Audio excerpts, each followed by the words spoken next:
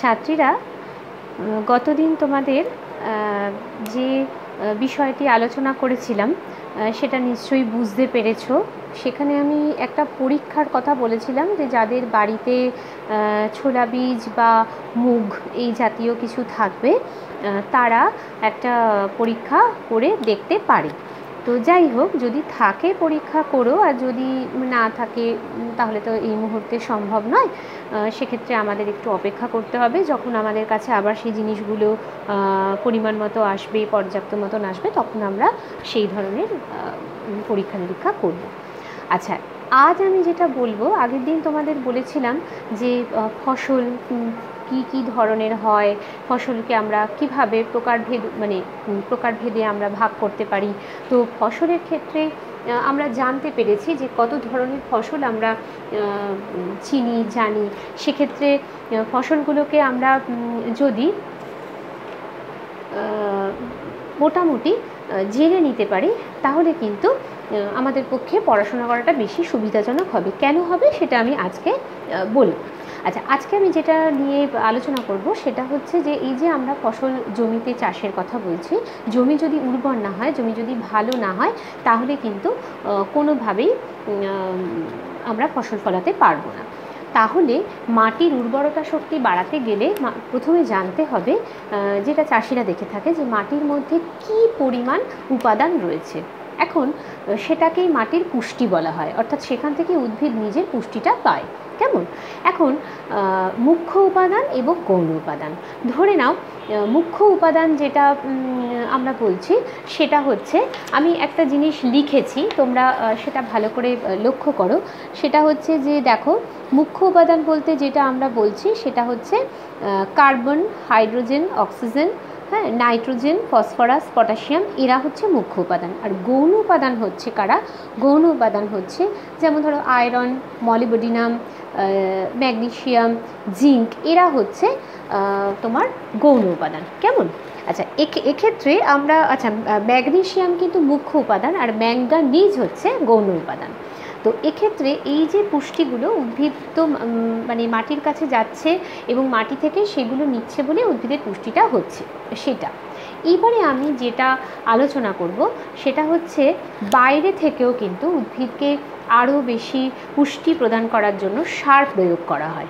এটা তোমরা জেনে রাখো। সার, এখন সার কিন্তু দুভাগে ভাগ করা হয়। কীরকম? দু প্রকার সার হয়। একটা হচ্ছে জৈব সার, একটা হচ্ছে অজৈব সার। ভালো করে দেখো। জৈব সার এবং অজৈব সার। জৈব সার যেটাকে আমরা বলছি, সেটা হচ্ছে ধরো মাটির মধ্যে যখন উদ্ভিদ বা প্রাণীর পচা গলা, মৃতদেহ মিশে যাচ্ছে, তখন কিন্তু সেটা জৈব সার হিসাবে আমরা তাকে পরিগণিত করছি। সেটাই ব্যবহার করা হচ্ছে। আর রাসায়নিক সার বলতে আমরা যেটা বুঝছি, সেটা মেন দেওয়া হয় নাইট্রোজেন, ফসফরাস এবং পটাশিয়াম। এই তিনটে উপাদান, অর্থাৎ এই তিনটে মৌলকে মিশিয়ে রাসায়নিক সার তৈরি করা হয়। কেমন? এবার আমাদের জানতে হবে, এই যে আমি বললাম যে জৈব সার আর অজৈব সার, এই দুটো সারই তো ফসল ফলানোর ক্ষেত্রে জমিতে ব্যবহার করা হচ্ছে। কোন সারটা অধিক গুরুত্বপূর্ণ? ধরো ধান, গম, ভুট্টা, এই ধরনের ফসল কিন্তু অজৈব সারে ভালোই হবে। কিন্তু অজৈব সার যখনই তুমি মাটিতে প্রয়োগ করতে দেখছ বা যখনই চাষিরা মাটিতে প্রয়োগ করছে, তখনই কিন্তু অনেক অসুবিধা দেখা যায়। কীরকম? যেমন ধরো, অ্যামোনিয়াম সালফেট। অ্যামোনিয়াম সালফেট একটা অজৈব সার, যেটা মাটিতে প্রয়োগ করা মাত্রই মাটির আম্লিক ক্ষমতা বেড়ে যায়। মাটির মধ্যে আম্লিক ক্ষমতা বেড়ে গেল মানে অ্যাসিডিটি বেড়ে গেল। অ্যাসিডিটি বেড়ে গেলে কিন্তু ভালোভাবে চাষটা হবে না। ঠিক আছে? আবার ধরো সোডিয়াম নাইট্রেট জাতীয় যে সার, সেটাতে সোডিয়াম থাকার জন্য তার মধ্যে ক্ষারীয় ধর্ম বেশি, মাটিতেও ক্ষারীয় ধর্ম বেড়ে গেল। কিন্তু জৈব সার যখনই এই যে পচা গলা, উদ্ভিদ বা প্রাণীর বর্জ্য পদার্থ মিশছে, তখন কিন্তু মাটির উর্বরতা শক্তি অনেকটা বাড়ছে। যেমন ধরো মাটি রন্ধ্রযুক্ত হচ্ছে ঠিক আছে? আচ্ছা মাটিতে যে ব্যাকটেরিয়াগুলো থাকে, যে অণুজীবগুলো থাকে, তারা ভালোভাবে বেঁচে থাকতে পারছে। এগুলো কিন্তু জৈব সার প্রয়োগ করলে মাটির উর্বরা শক্তি বাড়ছে, ঠিক আছে? এই এই জিনিসগুলোকে খেয়াল করতে হবে। অতএব এখান থেকে তোমাদের ছোট্ট একটা প্রশ্ন, কিন্তু ভালোভাবে তোমরা পড়বে সেটা হচ্ছে জৈব সার না অজৈব সার? কোনটি বেশি উপযুক্ত এবং কারণ সহ লেখো এরকমও প্রশ্ন হতে পারে, আর একটা পড়তে পারো, যে জৈব সার এবং অজৈব সারের মধ্যে তিনটি বা চারটি পার্থক্য নিরূপণ করো। সেটা তোমাদের পড়ার উপর নির্ভর করবে। আচ্ছা আরেকটা জিনিস আমি বলে রাখি যে এই যে তোমরা সার করছ, সেখানে আরেকটা জিনিস মেনশান করবে, সেটা আমি এখনই বলব। সেটা হচ্ছে যে অনুজীব সার বলে আরেকটা সার আরেক ধরনের সার চাষিরা প্রয়োগ করে।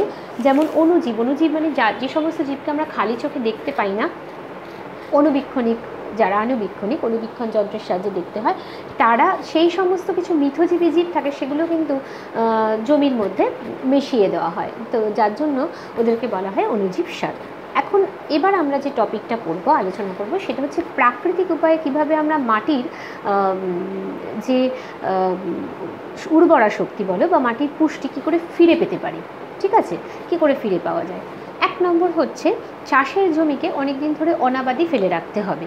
যদিও আমরা চাষবাস সম্পর্কে খুব একটা ওয়াকিবহাল নই, যেহেতু আমরা শহরাঞ্চলে থাকি তবুও আমাদের এই জিনিসগুলো জেনে রাখতে হবে করতে হবে। সেটা একটু হয়তো অনেকের কাছে মনে রাখা কঠিন, কিন্তু তোমরা যদি একটু ভালোবেসে, একটু মন দিয়ে পড়ো, তাহলে দেখবে তোমাদের কাছে জিনিসটা অনেক বেশি সহজ হয়ে যাবে। কেমন? আচ্ছা চাষের জমিকে অনাবাদি ফেলে রাখা। অনাবাদি মানে ধরো একটা চাষ হয়েছে, একটা ফসল চাষ হয়েছে, তারপর বেশ কিছুদিন চাষের জমিটাকে ফসল না ফলিয়ে ফেলে রাখা হয়। তার কারণ কি জানো? ওই যে চাষটা হয়েছিল আগের বারের যে ফসল চাষটা হয়েছিল, সেখান থেকে মাটির যা পুষ্টি সপ্ত গাছ নিয়ে নিয়েছিল, সেই ফসলটা নিয়ে নিয়েছিল। এবারে তার মধ্যে আর কোনো পুষ্টি নেই, মাটির মধ্যে পুষ্টি নেই। তখন মানে ওই একটা ফসল চাষ করার সঙ্গে সঙ্গে, তার কিছু পরেই যদি আবার অন্য ফসল চাষ করা হয়, তখন কিন্তু মাটির পুষ্টিটা উদ্ভিদ পাবে না। তাহলে কি মাটিতে পুষ্টিটা হওয়ার জন্য সময় দিতে হবে? তখন কিছুক্ষণ বা কিছু দিন, কয়েক মাস যদি এরকম ফেলে রাখা হয়, তখন দেখা যাবে মাটিতে আবার ওই পচা গলা, উদ্ভিদ বা প্রাণীর বর্জ্য পদার্থ মিশছে, মিশে যাওয়ার পর মাটির পুষ্টি উপাদানটা আবার ফেরত আসছে। কেমন? আচ্ছা দু নম্বর কি? শস্য আবর্তন করা। মানে ধরো, একটা ফসল চাষ হয়ে গেছে, আরেকটা ফসল চাষ হচ্ছে, তার মাঝখানে চাষিরা মাঝে মাঝে শিম্বি গোত্রীয় উদ্ভিদের চাষ করে, যেমন ছোলা, মটর, ডাল এখন এই সমস্ত উদ্ভিদের মূলের অর্বুদে রাইজোবিয়াম নামে একটা ব্যাকটেরিয়া থাকে, যারা কি করে? সরাসরি বাতাস থেকে নাইট্রোজেনকে সংবন্ধন করতে পারে, অর্থাৎ নিতে পারে। কি করে? না, ওরা উদ্ভিদের মূলের অর্বুদে থাকে আশ্রয় নেয় আর বদলে গাছকে, অর্থাৎ যে উদ্ভিদে আছে সেই উদ্ভিদকে নাইট্রোজেনটা দেয়। ফলে উদ্ভিদ ওদের থেকে পুষ্টি নেয় আর উদ্ভিদ এর কাছ, উদ্ভিদই ওদেরকে আশ্রয় দেয়। এইভাবে একটা মিথজীবী সম্পন্ন মানে সম্পর্ক তৈরি হয়। মিথজীবী সম্পর্ক মানে হচ্ছে কেউ কারোর ক্ষতি করছে না, কিন্তু উভয়ই উভয়কে হেল্প করছে এবং আশ্রয় দিচ্ছে, কোনো না কোনোভাবে সাহায্য করছে। সেটাকে বলা হয় মিথজীবী সম্পর্ক। তো এভাবে শস্য আবর্তনের ফলে দেখা যায় মাটিতে নাইট্রোজেনের পরিমাণটা ভীষণভাবে বেড়ে যায়। যেই মুহূর্তে নাইট্রোজেনের পরিমাণ বেড়ে গেল, দেখা গেল ধরো ধান, গম ভুট্টা, এগুলো চাষ হচ্ছে এবং উদ্ভিদের মধ্যে নাইট্রোজেনের পরিমাণটা বাড়ছে। কেমন? আচ্ছা অনুজীব সারের কথা তো আমি বললাম। এরপর আমি আসব জলসেচ প্রক্রিয়া। ভেরি ভেরি ইম্পর্টেন্ট কোনো একটা চাষের জমিতে যদি জলসেচ প্রক্রিয়াটা ভালো করে ধরো না হয়, তাহলে তো আমরা বলতে পারব না যে কেমনভাবে চাষটা হচ্ছে। জলসেচ প্রক্রিয়া হওয়ার জন্য দেখতে হবে কাছাকাছি চাষের জমিতে পুকুর খাল, বিল, নদী, নালা আছে কিনা। যদি সেটা থাকে তাহলে সেখান থেকে চাষের জমিতে সরু সরু করে খাল কেটে জল আনানোর ব্যবস্থা করতে হবে। আর যদি খুব দূরে থাকে তখন দেখবে তোমরা যদি গ্রামাঞ্চলে গিয়ে থাকো তাহলে লক্ষ্য করবে যে ডিজেলের সাহায্যে কি করা হয়? পাম্পিং পদ্ধতিতে জলটা ছড়িয়ে দেওয়া হয়। এটা কিন্তু জলসেচ পদ্ধতি। তোমাদের বইতে অনেক পদ্ধতির ছবি দেওয়া আছে, দড়ি বালতি পদ্ধতি তারপর ধরো চেন পাম্প পদ্ধতি, আরেকটা পদ্ধতি হয় ভীষণ পুরনো পদ্ধতি, রাহাত পদ্ধতি। এখন রাহাত পদ্ধতি যেটা সেটা হচ্ছে পশু শক্তিকে কাজে লাগানো হয়।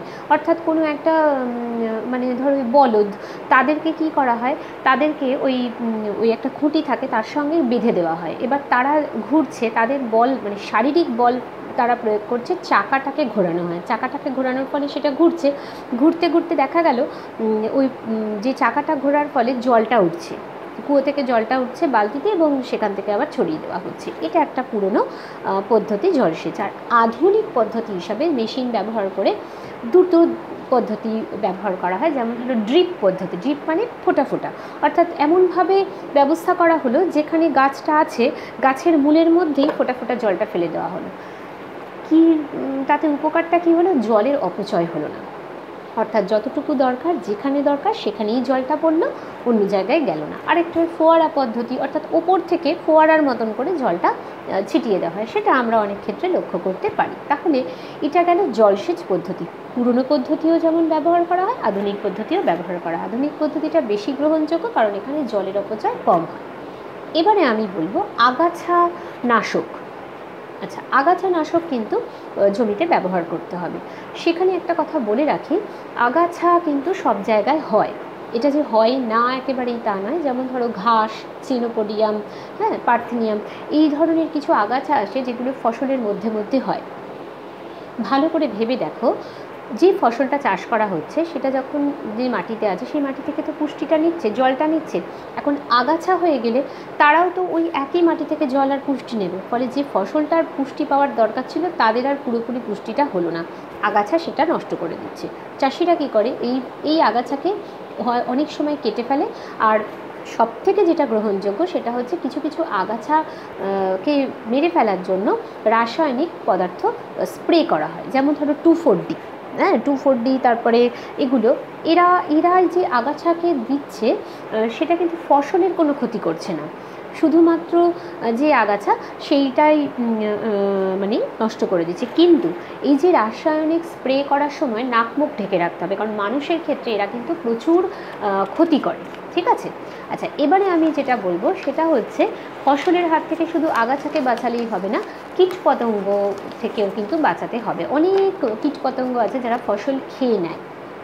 এখানে তোমাদের আমি একটা কথা বলব নতুন, সেটা হচ্ছে পেস্ট। পেস্ট মানে আমি কিন্তু টুথপেস্টের কথা বলছি না। এখানেও তোমরা একটা ভালো জিনিস লক্ষ্য করো। আমি এখানে একটা জিনিস লিখেছি, সেটা হচ্ছে পেস্ট। পেস্ট আমরা কাদের বলি? যেমন ধরো ইঁদুর, পঙ্গপাল হ্যাঁ? তারপর ধরো বিভিন্ন ধরনের পোকা সেগুলোকে আমরা বলছি পেস্ট। অর্থাৎ যারা ফসল খেয়ে নেয় সঞ্চিত ফসলকে নষ্ট করে বা মাঠে জমিতে থাকাকালীন সেই ফসলকে ওরা নষ্ট করে দেবে। তাদেরকে বলা হচ্ছে পেস্ট। আচ্ছা এবার আমি একটা কথা বলি যে এই যে আমি বললাম পঙ্গপালের কথা, পঙ্গপাল কিন্তু যেমন ধরো আখ, গম এদের পাতাকে খেয়ে নেয়। এদের মানে এদের পাতা মানে খুঁড়ে খুঁড়ে খায়, এদেরকে স্টেম বোরার বলা হয়, কেমন? আর ব্যাকটেরিয়া, ছত্রাক কিছু আছে, তারা কোনো কোনো ফসলের ক্ষতি করে। যেমন ধরো গমের মরিচারক সৃষ্টি করে, তারপর ধরো আলুর মধ্যে ধসারক সৃষ্টি করে ছত্রাক, এরাও করতে পারে, কেমন? আচ্ছা এক্ষেত্রে এদেরকে কীভাবে দমন করা যাবে না? ফসল দমন করা যাবে কিন্তু দুটো উপায়। একটা হচ্ছে রাসায়নিক পদার্থ প্রয়োগ করা যায়, রাসায়নিক দমন আর একটা হচ্ছে জৈবিক দমন। ঠিক আছে? রাসায়নিক দমন যেখানে করছ, সেখানে কিছু নাম তোমাদের করতে হবে। সেটাও তোমরা একটু দেখে রাখো। আমি যে যে পয়েন্ট আউটগুলো করেছি, অর্থাৎ যেগুলো তোমাদের মনে রাখতে হবে, সেটা হচ্ছে এইটা। অর্থাৎ, দেখো ভালো করে ডিডিটি বিএইচসি ঠিক আছে? তো এই যে এগুলো এগুলো হচ্ছে কিন্তু রাসায়নিক দমন। আর জৈব দমন মানে হচ্ছে ব্যাকটেরিয়া, ভাইরাস, কিছু পরজীবী, এদেরকে কিন্তু প্রয়োগ করা হয় জৈবিক দমনের জন্য, অর্থাৎ ওই কীটপতঙ্গকে মেরে ফেলার জন্য। এবারে আমি একটা কথা বলি। যে কোনো পদ্ধতিতে যখনই তুমি কোনো রাসায়নিক পদার্থ কথায় আসছো আর জৈবিক, জৈব পদার্থের কথা আসছো সেখানে কিন্তু একটা ভালো মন্দের দিকটা চলে আসছে। যেই মুহূর্তে ডিডিটি বিএডসি ম্যালথিয়ন দেওয়া হচ্ছে, সেই মুহূর্তেই কিন্তু কি হচ্ছে? ক্ষতির একটা দিক চলে আসছে। অর্থাৎ পরিবেশ দূষণ, মাটিতে মেশানো হচ্ছে। ওই কীটপতঙ্গকে নষ্ট করার জন্য।